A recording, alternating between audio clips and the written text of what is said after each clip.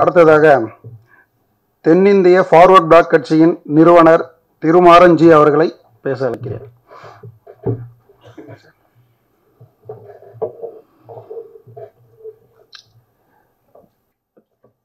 White lamp தயாரிப்பில் வெளிவர உள்ள சாயம் திரைப்படத்திற்கு பத்திரிகையாளர் சந்திப்பில் வந்து கலந்து கொள்வதிலே நான் பெருமை அடைகின்றேன். மிக சிரமத்திற்கு இடையிலே பல்வேறு இன்னலுக்கு இடையிலே கிட்டத்தட்ட ஏழாண்டு காலமாக இயக்குனர் அருமை தம்பி அந்தோணி அவர்கள் மிகவும் சிரமப்பட்டு இந்த படத்தை தயாரித்துள்ளார். இது ஃபஸ்ட்டு கிளாப்பிங்க்கு நான் போயிருந்தேன். இதில் கதாநாயகனாக இருக்கக்கூடிய அபிக்கு ஃபஸ்ட்டு கிளாப் அடித்தேன் அப்போ நான்.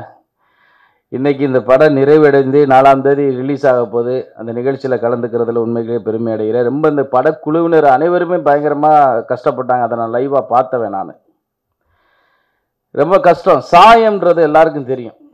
ஒரு மனிதன் மீது பூசப்படுகின்ற சாயம் அது ஜாதியாக இருக்கலாம் மதமாக இருக்கலாம் நட்பண்புகளாக இருக்கலாம் ரவுடிசமாக இருக்கலாம் சமுதாய சீரழிவுகளாக இருக்கலாம்.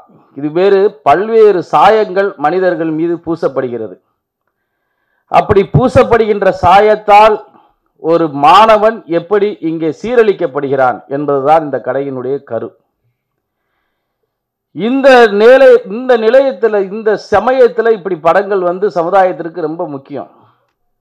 பள்ளிக்கூடங்களில் போகிற பையன்ல இருந்து காலேஜ் படிக்கிற வ பையன் வரைக்குமே தொடர்ந்து இந்த ஜாதியை சொல்கிறதுல ரொம்ப பெருமைப்படுறான்.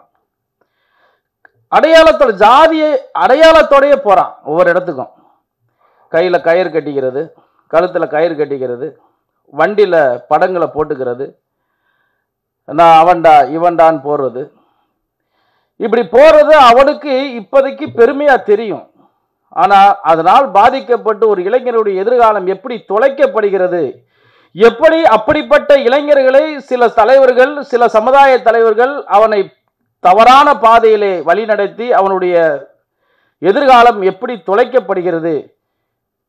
எப்படி ஒரு மனிதன் மீது பூசப்படுகின்ற சாயத்தால் ஒரு மாணவன் எப்படி தன் எதிர்காலத்தை துளைக்கிறான் என்பதுதான் இந்த படத்தினுடைய கரு. நீங்கள் எத்தனையோ பட வெளி வெளியீட்டு விழாவிற்கு பத்திரிகையாளராக நீங்கள்லாம் போயிருப்பீங்க. ஆனால் அதெல்லாம் பெரிய பெரிய பட்ஜெட்டில் எடுத்து அந்த பத்திரிகையாளர் சந்திப்பே பயங்கர ரிச்சாக நடக்கும். இது ஒரு ஏழ்மையாக நடக்கக்கூடிய ஒரு நிகழ்ச்சி. இதை இவர் ஏழாண்டு காலம் கஷ்டப்பட்டிருக்காரு. உலகத்தில் பவர்ஃபுல் என்பது மீடியா ஊடகம். ஒரு ஏழைப்பட்ட வளர்ந்து வரக்கூடிய ஒரு கலைஞர். அவரை நீங்கள் பெரிய பெரிய அளவில் நீங்கள் ப்ரொஜெக்ட் பண்ணி இவர் இந்த படத்தை நீங்கள் வெளியே கொண்டு வரணும்.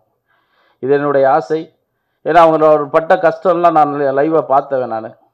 பெரிய பெரிய பட்ஜெட் படம் வர்ற நேரத்தில் இவர் ஏழாண்டு காலமாக கஷ்டப்பட்டு இந்த படத்தை எடுத்து இந்த படத்தை எப்படியாவது கொண்டு போய் இந்த சமூகத்திற்கு ஒரு நல்ல கருத்தை சொல்லணும். இப்போ கருத்தே இல்லாமலாம் படம் வருது. பெரிய பெரிய கதாநாயகன் பெரிய பெரிய ஆக்டர்ஸ்லாம் நடிக்கிறாங்க.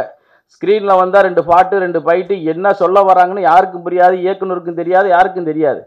ஆனால் அந்த படமெல்லாம் ஹீரோவை வச்சு பாட்டுகளை வச்சு ஓடிடுது இப்போல்லாம் ஒரு படம் வந்திருக்கு. அதில் ஒரு பாட்டு அந்த பாட்டுக்காட்டியே படம் பார்க்க போனேன்னு சொல்கிறான் இளைஞன். இதுதான் சாயம்.